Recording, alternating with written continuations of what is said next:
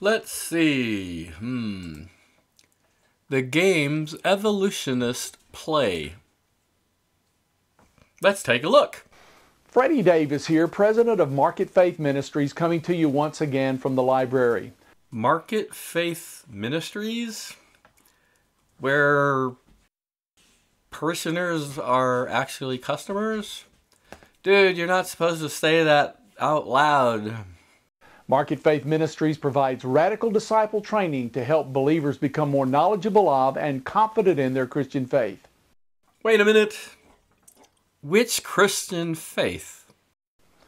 Did you know that scientists have now identified the moment in time when our earliest animal ancestors evolved to be warm blooded?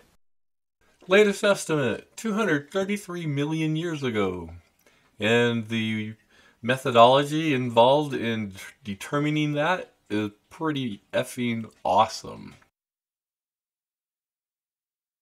Links for the article that I believe this person is referencing is down in the video description and also a summary um, explaining the studies. Pretty cool. I'm, I appreciate this person pointing out the article. Yes, that's right. Before that evolutionary jump, cold blooded animals were at the top of the evolutionary ladder. There is no such thing as the evolutionary ladder, and no scientist says there is.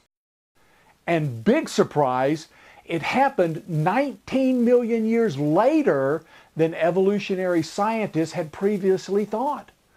Another massive shakeup in our understanding of evolution. Um, earlier, not later, and oh my gods, plural, scientists have corrected themselves when they got new data.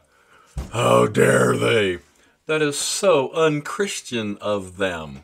They should just get an answer right or wrong and stick to it no matter what the evidence says, if it's wrong or not. It's the Christian thing to do. These kinds of surprises seem to happen all the time now. Yeah, that's a good thing. These scientists figured out this very thing by measuring the size and shape of the inner ears of 341 animals, 243 living species, and 64 extinct ones. They used these measurements to infer body temperatures. And they inferred with a really cool methodology. I encourage people to read the article. This video's description link. The narrower the ear tubes, the warmer the body temperature must be. Did you know that they discovered that 54 of the extinct mammals developed this narrow inner ear canal structure 233 million years ago? Using their measurements, they concluded that the transition from cold-blooded to warm-blooded took less than 1 million years. Previously, they thought it took tens of millions of years. Yes, and that's the best part of the study. is pretty darn cool, like I said. I thank this person for pointing it out to me. Of course, follow-up studies still need to be uh, done to confirm these findings via other means. But scientists are really excited about their work. Scientists are excited. How does this person know? Scientists are excited about this study and the conclusions. Excited. Over the years, many different approaches have been used to try to solve this mystery. What mystery? and those have often been very vague or confusing in their results. Scientists think that this new method, though, is good because it uses a large number of modern species and it suggests this feature evolved at a time when many other mammalian body features were also falling into place. Hmm. Falling into place. I wonder what this genus means by mammalian features falling into place. He should write a paper on that. Honestly, I never cease to be amazed at these scientific studies that supposedly prove various things about the evolution of life on Earth. Well, who the fuck asked this person for his opinion? If he does not have the credentials, if he does not have the backup of education to determine what the study actually says and why it says it and the conclusions and why the conclusion was made, this person's opinion doesn't isn't worth well, shit is worth in some places, you know, when you can compost it correctly. Um, don't want to use human shit if you're going to use compost and you're going to be in there and a lot of it. This person's opinion is not even worth that. So, hey, person, you know what you can do with your opinion. First of all, there's no proof of anything. These scientists don't even begin with science. They begin with a philosophical assumption. Then, using an unproven logic based on that assumption, they extrapolate to conclusions that they can only speculate about. Okay, dude, state specifically what was wrong with the study and its conclusions. Give specific examples. Then, write a paper about it and correct the scientist. And why did you suddenly go black? Like my men. The first assumption is that macroevolution is true. This stupid shit again. Macro, evolution is not true. Any more than rain is true. The conclusion that macroevolution has happened, is currently happening, and will continue to happen is true that it's possible for more complex life forms to evolve from less complex forms. Complex forms? No. There's no science to demonstrate that that's even possible, much less true. Yet here they are, again, making that assumption, then speculating that the size of ear holes in animals can tell them when warm-blooded animals appeared on the earth. Yeah, um, he only has to read the paper and then he would understand what he is not understanding. Also, I see that the website is being displayed www period marketfaith period org. I think I will go there. I see worldview study survey worldview survey I think I will take it. I have not seen it yet. We will enjoy it together for the first time that we will always remember, even if we part, you know, somewhere in the future. Anyhow, let's see. What you believe is very personal part of your life, but also a part that is has very deep personal meaning to you. Is this a horoscope? Am I reading the newspaper? Today for Pisces. There's an element of every belief system that is called a worldview. Flucka flucka flucka fluck fluck flucka flucka to flucka flucka help you more of sense flucka flucka foundation. After you have the opportunity to take the survey, you will find a brief explanation of the implications of your tendencies for your life in the results. It is our hope that by gaining this deeper understanding about yourself, you will be able to work to make your own life more meaningful. Scientology. This is what Scientology says. Free personality test. Is this guy a Scientology person? Okay, survey. Worldview survey. Put a check by each statement you agree with. Right and wrong are relative in the book that I recognize as God's revelation. What? Oh, I'm sorry. Right and wrong are revealed in the book that I recognize as God's revelation. What book? Which God? I have a choice of creating a personal relationship with God by faith in Jesus Christ. Okay, um, So the god in question is the Canaanite volcano god Yahweh, I guess. History is a series of events that occur throughout time which leads to an eternal future. Um, well, billions and billions and billions of years. Actually, trillions of years. The solar system, not the solar system, this, this universe will continue to expand, expand, expand because it is flat, as far as we can tell. So, eternal future, yeah, I would say yes. I mean, history being the history of the universe, um, history of Earth doesn't signify at all. So, I have one check mark. At death, the essential essence, this essential essence of a human being either reincarnates into another life or it is advanced enough, transcends the material reality, and becomes part of cosmos. I don't get it. I mean, explain your words. Essential essence. Precious bodily fluids. I don't deny women my es. No, I don't. I like women, but I deny them my essence. I my quote is really fucked up. So I have no idea what that means, so it leaves a no check mark. There is a spiritual reality that exists beyond the physical world, and I hope one day I will become a part of it. No. I have a profound duty to care of the needs of the gods. No. At death I go to heaven if I have a personal relationship with Jesus Christ. No. Why would anybody want a personal relationship with Jesus Christ? Personal.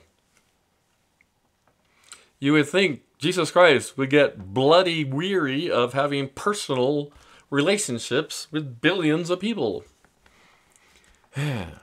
Material reality is an illusion, and one day I will transcend this illusion and become part of the cosmic whole. No. Human beings were especially created by God for the purpose of fellowship with Himself. Why doesn't He just do Himself? Why have humans uh, anyhow, never mind. Take that image out of my brain. I know that human beings have knowledge simply because it is an obvious part of human existence. Check mark. At death, they cease to exist. Check mark. Human beings are simply the most advanced form of animal life on earth. No. There is one God who has revealed himself as Father, Son, and Holy Spirit.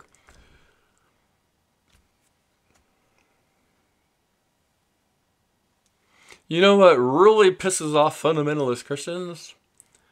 Counting their gods in front of them. No check mark, by the way. God created me with special ability to have knowledge. Um, actually, autism did that. I mean, I have special abilities and skills and aptitudes that are atypical, but as far as I know, the gods had nothing to do with that, so I will have to leave that check mark unchecked.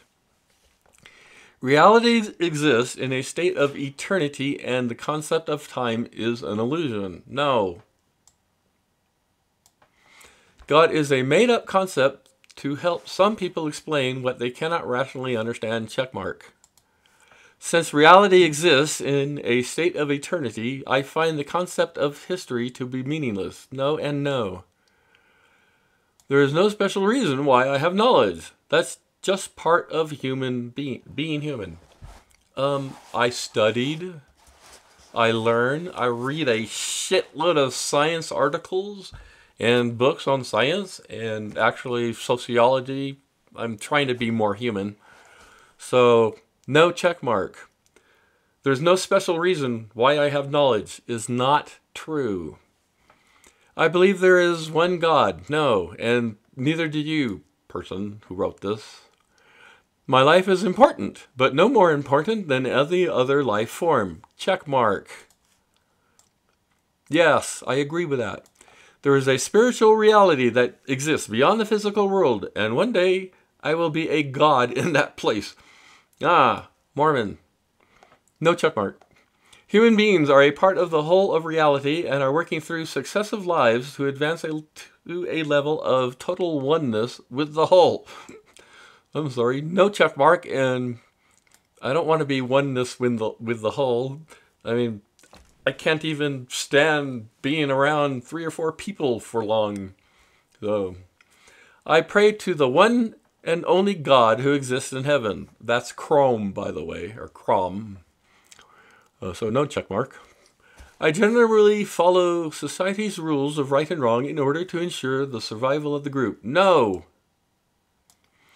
I follow ethics and virtue and honor and commitment. I do not follow society's rules of right and wrong because they are often wrong.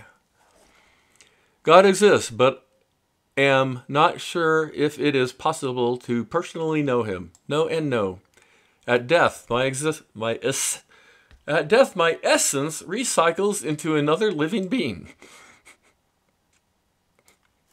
I really hope that's true and that the Southern Baptists reincarnate as black men. No check mark. History helps me to understand the way God has worked in the past. Um, no and no. No evidence. History helps me know what pleases and displeases the gods. By the way, the only um, thing that the gods actually punished, like the Greek gods, was hubris. Can't stand hubris. So I'm royally fucked if the, the Greek gods are the real ones. The concept of right and wrong is a human invention that has been invented for the purpose of the survival of the species. Yes. And by the way, it changes. Knowledge is actually an illusion, and when we realize our oneness with the cosmos, we will be on knowledge. No, check mark.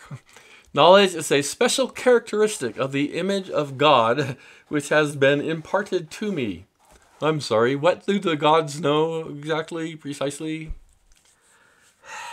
I have been reading about the um, uh, the wars between Rome and other people and the Carthaginians, specifically Hannibal, and the way he kicked ass of the of the Romans.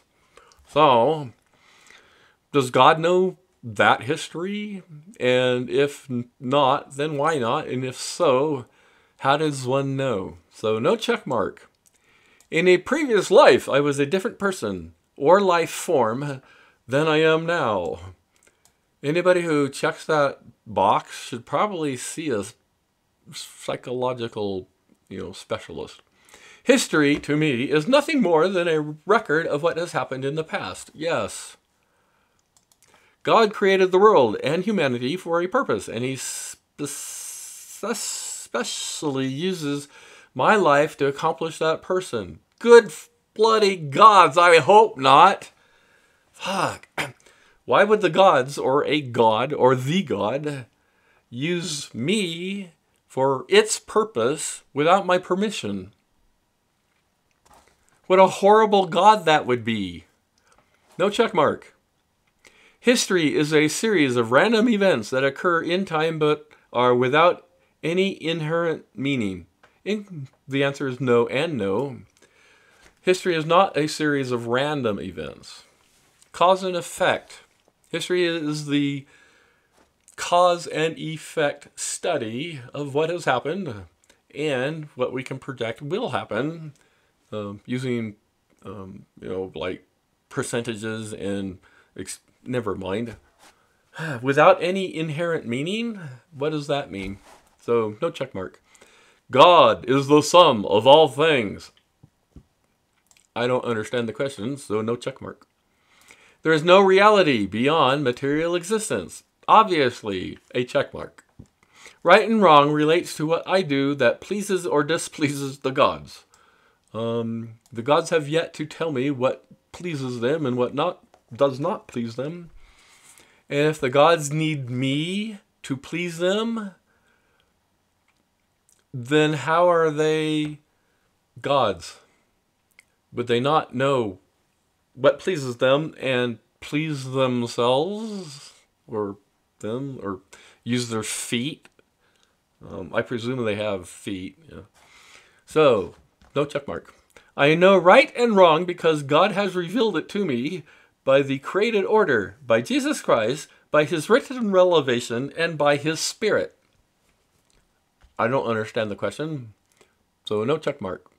The cosmos is perfect at every moment, and right and wrong are an illusion.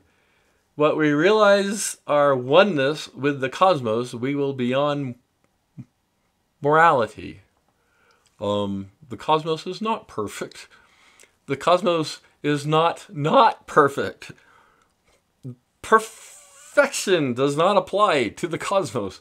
No check mark. There is a spiritual reality that exists beyond the physical world, and I am absolutely sure that one day I will become a part of it. No, no check mark. When something bad happens, I try to find which god has been offended and try to appease it. Um, well, technically, um, I could check that box because, you know, there's got to be gods about, you know, constipation. There must be a constipation god out there somewhere because when I sit on the toilet and I just can't do my business, Oh, God, please help me. Ugh. So, I'm not going to check that box because, you know, very few gods have actually, you know, been of help to me. So, it is possible for human beings to have knowledge because they randomly evolved to the level where that is possible. Nothing randomly evolves. So, no check mark. Human life is a special creation of God and is more important than any other types of living creatures. Why would humans be more important than everybody else? It is the humans that are fucking up the planet for everybody else. Humans should go to extinct for the benefit of everybody else. So, no check mark. At death at death, I enter the spirit world and become a god.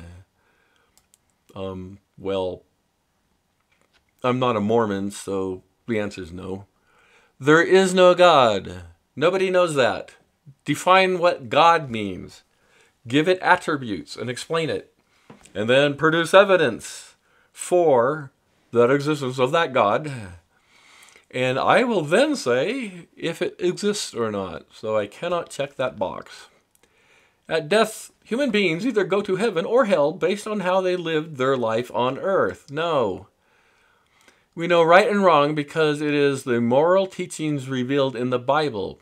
The Bible does not know what is right and what is wrong. Should I go out and find somebody who wants to sell his daughter to me? I mean, she would have to be at least 30 years old because I'm not going to go any lower and, you know, like so, yeah, the Bible has nothing to say about right and wrong. Human beings are able to have materi- material and spiritual knowledge because God created us with that ability. No check mark. The gods are able to cause good or evil in my life based on my actions towards them. No, by the way, the Canaanite volcano god Yahweh has said that he is the source of evil says so in the Bible, the Hebrew Testament. No check mark. Knowledge really doesn't exist. It only seems that it does from my human perspective. I am not a member of the United States Republican Party, so no check mark. History is a meaningful succession of events that began with the creative act of God and is moving towards the return of Jesus Christ. Um, no. And Make up your mind. Which God is which? Is there a God? Is there a Holy Spirit? Or is there a Jesus Christ? Pick one.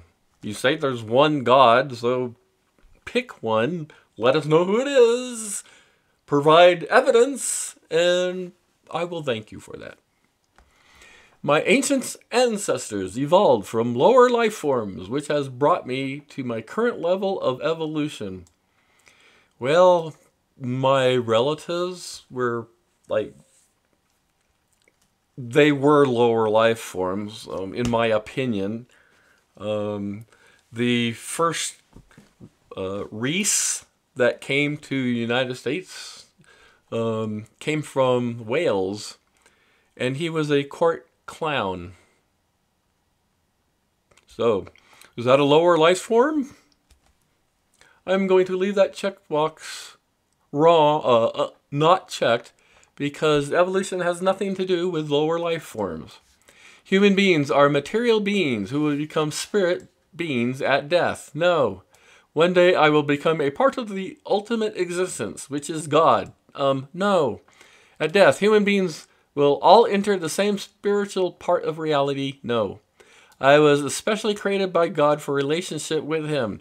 Why would a God want a relationship with me? A. God. God out there! Canaanite volcano god! Get a fucking life! no check mark.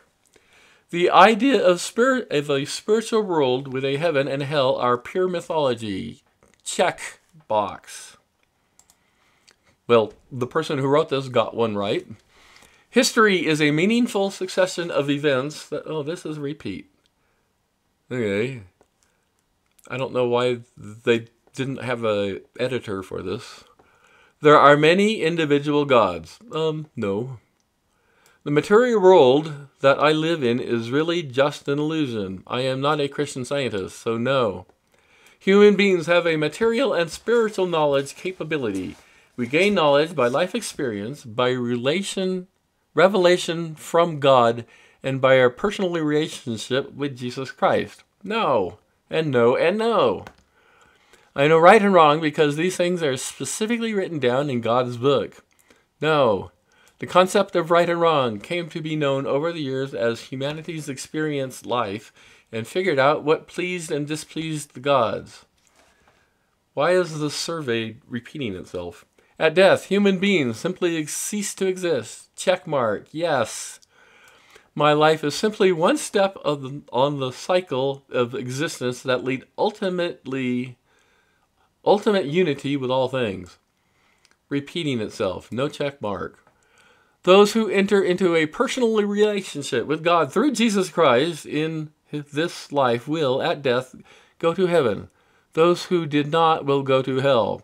Well, who the fuck made that rule up?